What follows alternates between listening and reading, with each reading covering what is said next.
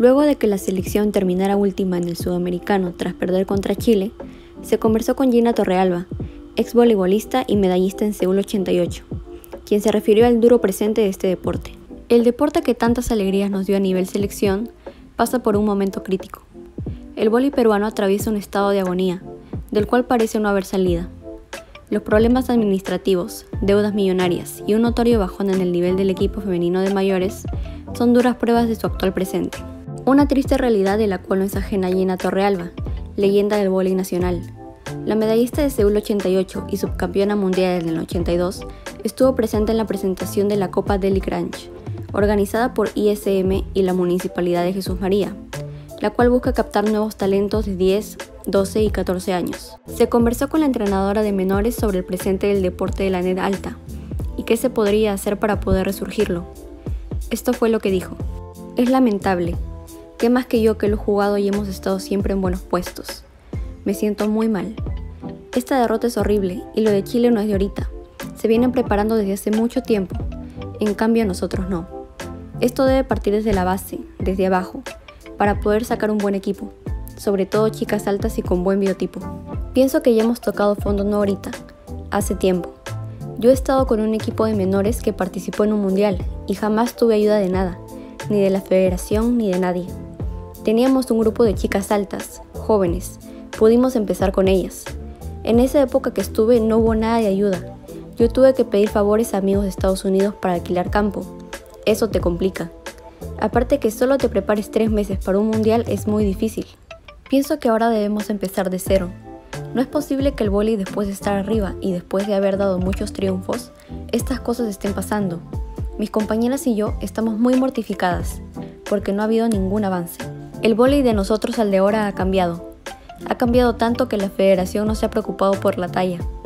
Las chicas que ahora juegan vóley en todo el mundo son atletas, porque el físico también es importante. En nuestra época, Mambo Park todos los lunes nos pesaba y si nosotras estábamos un poco subidas de peso, nos castigaba en el campo, nos hacía ser bastante físico. Pienso que la federación debe preocuparse bastante. Veo mucha crítica. Los peruanos queremos resultados al instante, pero no es así. Esto tiene que ser de a poco. Tampoco creemos que el tema de la disciplina tenga que ser como antes. El régimen de nosotras era peor que un militar. Hoy en día las chicas son diferentes, pero hay que tener responsabilidades. Las chicas de ahora se están preparando para no jugar por su selección, solo para salir a buscar una beca de alguna universidad. A las chicas que tenía, yo les decía que primero debían sacar adelante a nuestro país, jugar por nuestro país y después ya las iban a contratar afuera. Lo que pasa es que antes la federación era primero. Los clubes de ahora no dan fácilmente a sus jugadoras, porque ellos les pagan mucho más. Por eso, los clubes ya no quieren dar a sus chicas. El entrenamiento tiene que ser constante, no solo contratar a un entrenador que las prepare para un campeonato en específico. En otros países puede ser, porque siempre juegan, estar en campeonato, los clubes viajan a otros sitios, pero acá no. Acá solo juegan la Liga Nacional que es baja. El declive del vóley peruano viene desde hace tiempo, desde antes que yo esté, porque no hay apoyo a las bases y donde debería haber apoyo es ahí, no a las mayores, porque ya están formadas, aunque lamentablemente no formadas bien, pero deberíamos empezar desde abajo. Desde el 2000 se ha venido acumulando problemas. Recuerdo que yo estuve de asistente del profesor Park, pero desde que se fue él, no hubo ese nivel de jugadoras. Para mí, es el peor momento del vóley peruano. Refiriéndose a la gestión de Gino Vegas y Paco Arbaz, dijo, Lamentablemente, en esta gestión hay que ver qué es lo que pasa. En mi época había empresas que apoyaban, quizá hoy en día no hay, porque quieren ver que los equipos sobresalgan. Es tanto así que ahora otros países no nos quieren a nosotros de sparring, Ahí uno se tiene que dar cuenta. Solamente vamos a República Dominicana o Argentina. Tenemos que pensar ya en jugar con equipos más fuertes con tallas altas, pero no se puede, porque el nivel de nosotros es bajísimo. Para volver a encaminar el volei, yo empezaría desde cero. Empezar a buscar en provincias chicas altas y tenerlas acá.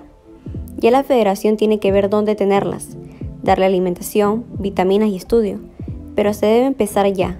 Sobre el preolímpico, Lamentablemente la federación ya aceptó la invitación. En mi caso yo no iría, porque los países que nos ha tocado son fuertes.